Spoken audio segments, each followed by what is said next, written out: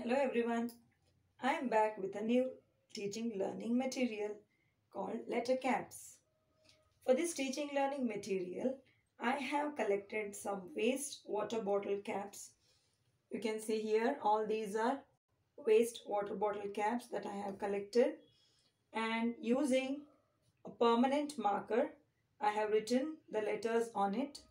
So for some of the caps I have used permanent markers and for some others I have used waste nail polish which was in black color.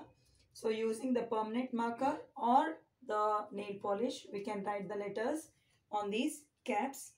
If we use nail polish it's better because it doesn't erase it doesn't get erased these letters will remain permanently on these caps you can see here it yeah I wipe also it doesn't get erased then I have prepared both the letters dear friends uppercase letters and the lowercase letters for my activity which could be used in a uh, first standard. Now this is how it works in our classrooms. We can use these letter caps for standard 1 students to recognize the alphabets. For example after we teach letters to them we can ask them to pick out some letters by calling out the letter names for example, after teaching all the letters A to Z, if I ask the child to pick the letter T for me, the child has to identify letter T and it has to show it to the teacher. This is letter T.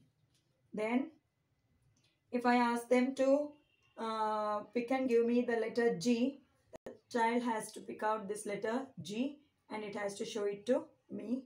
So, uh, this is a very useful TLM for us which we can use it in the classroom to for, for our ch children to make them to recognize the letters. And this can also be used as a matching activity where the child has to match the uppercase letters with the lowercase letters. Because I have prepared both the uppercase and lowercase, I can ask them to match the uppercase with the lowercase. So it's uh, it works like this this is letter A. The child has to match it with lowercase letter A. If it is uppercase letter R, the child has to match it with lowercase letter R. And then if it is uppercase T, the child has to match it with lowercase t. And then if it is H, the child has to match it with H. So this teaching learning material is also useful in matching activity and then to make it more attractive I have prepared a puzzle board here. This is the puzzle board you can see. So and uh, this could be used for pre-primary classes to match the letters like if it is the letter B, the child has to recognize the letter B and it has to place it on that particular letter. If it is letter O, the child has to recognize letter O and it has to place it on that. So in the same way, the child has to recognize all the letters and it has to match all the letters on those particular letters. This is for pre-primary classes. When it comes for upper primary classes, we can use this puzzle board as a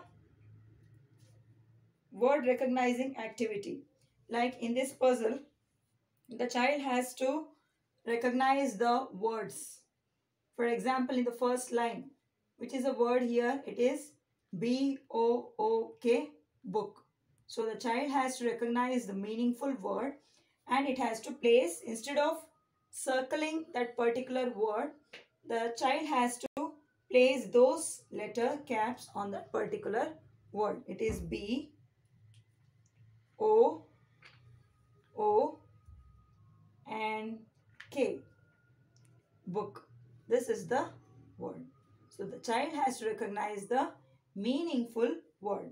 In the same way, the second column, which is a meaningful word, A, E, P, E, N, T. So the meaningful word is P, E, N, pen. So the child has to identify those letters P, E and then it is N pen. So it is the meaningful word is pen. And in the third column it is C H A I R chair. So the child has to recognize C and then it is H A I and then it is R. So, in the same way, the child has to identify all the meaningful words over here in this puzzle and the child has to arrange the caps on those particular words to make meaningful words. So friends, this is very useful and long-lasting teaching learning material. Children enjoy learning with this kind of TLM in a playway method. If you have liked the video, please subscribe. Thank you and catch you with a new TLM.